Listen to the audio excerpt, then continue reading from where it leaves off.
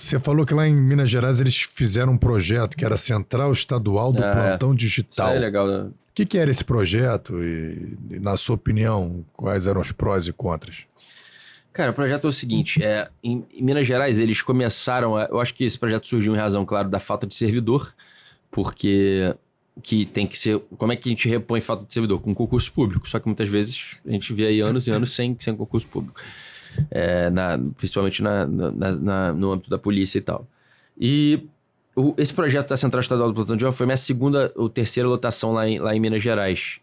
Que eu fui pro Barreiro e aí acabou, acabaram as centrais de flagrante presenciais, primeiro em BH e depois BH, eh, na região metropolitana e depois expandiu até pro interior. O que que na verdade aconteceu? Eles concentraram uma, uma central de flagrantes toda na cidade administrativa, que é a sede do governo lá em Minas Gerais, lá em BH, é, com uma equipe com sete ou oito delegados nessa central, nessa central específica, e atendendo a ocorrências de BH e região metropolitana, e depois vieram mais delegados ainda para atender para o interior do estado. Tudo isso por meio de videoconferência. O que, que acontecia? Vamos dizer, vou usar o barreiro lá de referência. Algum indivíduo praticava uma infração penal ali na área do barreiro. A polícia militar efetuava a captura dele levava ele para a delegacia do Barreiro. Na delegacia não ia estar o delegado lá e nem o escrivão. O delegado e o escrivão eles estão na central estadual do plantão digital, lá, em lá na, na cidade administrativa. Que ia ter na delegacia era uma equipe de investigadores. Eles iam colocar o ca- eles iam colocar o investigado, o conduzido, na frente da câmera e ia rolar uma videoconferência do escrivão, do delegado, com aquele, com aquele investigado. E também é, da- das outras pessoas. Primeiro centro PM, igualzinho o flagrante, só que tudo virtual. Só isso permitia que o delegado atendesse a várias, várias é, ocorrências ao mesmo tempo. Ele atendia uma no Barreiro, atendia uma não sei aonde, atendia uma não sei aonde, tudo por videoconferência. É, e, e isso foi um projeto, assim, tido como inovador na época e tal, que podia ampliar a atuação do delegado, diminuir o deslocamento da PM e tal. Eu tenho minhas sérias dúvidas a respeito desse processo. É, eu- os prós e contras que eu, que eu digo, é, que, eu, que eu entendo desse projeto é pró, realmente você consegue fazer um atendimento de ocorrências mais equânime, vamos dizer assim, porque quem trabalha em central de flagrante, a gente sabe aí que tem centrais e centrais de flagrante. Tem centrais que tem um movimento mais tranquilo e tem centrais mesmo, que é o pau quebrando o tempo inteiro. Se você faz uma possibilidade de atender é, a, a distância com uma equipe de delegados, todas as centrais, você acaba equilibrando isso, porque você nunca vai ter uma central sem ninguém trabalhando e outra com alguém trabalhando muito, vamos dizer assim. Mas, por outro lado, você perde muito da atuação do delegado em sede policial.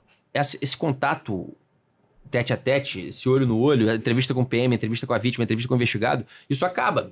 Porque por mais que você tenha videoconferência, não é a mesma coisa daquele contato, aquele, daquela, daquele calor ali, da, da emoção de você entrevistar várias pessoas às vezes ao mesmo tempo, sentir qual é a do cara, você perde muito isso. Muitas vezes é o escrivão que vai reduzir a termo aquilo ali, você vai ler o termo, não vai entender muito bem o que acontece. Então, assim, aquilo, isso, esse, esse distanciamento realmente foi. Eu achei, eu senti muito isso na, no- quando, quando eu me mudei para essa central de flagrante. Tanto é que mudou a chefia lá agora e acabou. É, essa central acabou em BH de novo. BH, região metropolitana, já voltou é, ao presencial, porque não dá, cara. Realmente é, é- você perde muito em termos de apreciação ali do flagrante da veracidade dos fatos. E quando tinha apreensões, como é que fazia? Ficava tudo lá na delegacia. A gente fazia o, o- a- a- outra loucura também. Fazia o auto de apreensão em flagrante, quem fazia era o escrivão, mas quem assinava era o investigador lá na delegacia. Segurava ali e mandava pra perícia depois de lá mesmo. Não ia nada, a gente não recebia. Pro, pros escrivães isso foi, foi bom, assim, pro plantão, na verdade. Porque o cara não lidava mais com material, ele não tinha que fazer apreensão, não acondicionava nada no cartório da delegacia, ele acabou ficando numa situação mais confortável, assim, para trabalhar, ficava só realmente na redução a termo ali dos depoimentos.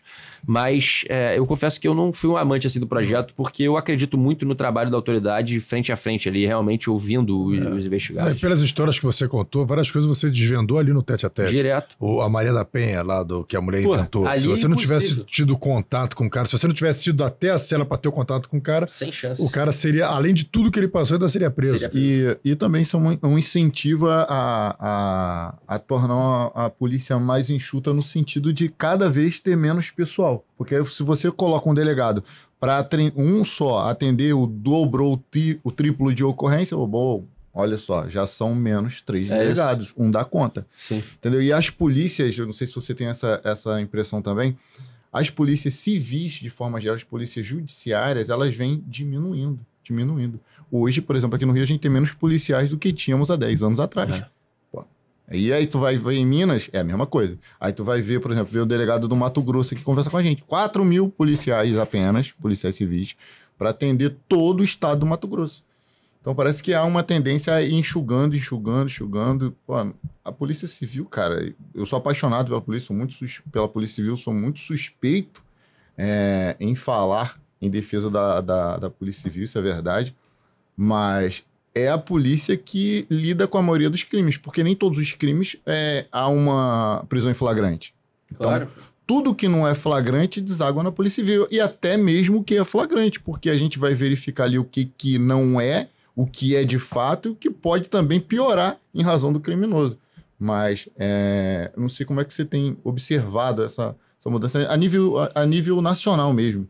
É, se você tem conseguido perceber essa diminuição das polícias no efetivo e na estrutura também, em alguns, alguns casos. É, é, foi exatamente o que eu falei no início aqui, do, do antes do, de começar a falar desse projeto. Claramente, isso é um projeto para tentar suprir a falta de, de, servidor que tem que ser suprida com concurso público.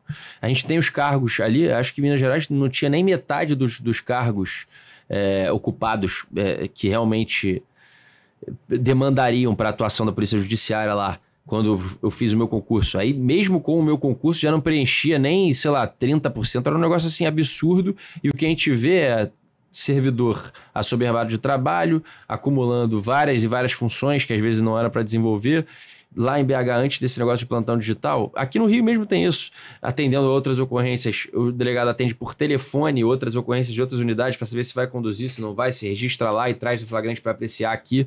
Realmente é uma falta de servidor que impacta diretamente no, num serviço que a, a população vai utilizar, que num serviço que a, a população precisa que seja é, praticado, sem investigação, sem apuração de crimes. Então não, não prende ninguém. Não. Vai ficar eh, reduzindo a, a, a, atuação da polícia a flagrante. A gente sabe que não é isso que vai resolver o problema da criminalidade de forma alguma. Se não tiver investigação, não tem elucidação de crime nenhum, ninguém é preso pela prática de, de infração penal. Só, eh, só situações flagranciais. Então, obviamente que é, esse projeto ele já começa, para mim, se ele tem esse intuito de reduzir é, a, a quantidade de servidores para realizar mais trabalho, ainda mais um trabalho que eu não acreditava muito no projeto nesse sentido. Isso foi um, um momento até de paradoxal para mim lá, porque eu trabalhava numa lotação que eu não acreditava muito naquilo, mas eu sempre fazia o meu melhor ali o tempo inteiro, representava pelas prisões preventivas, é, enfim.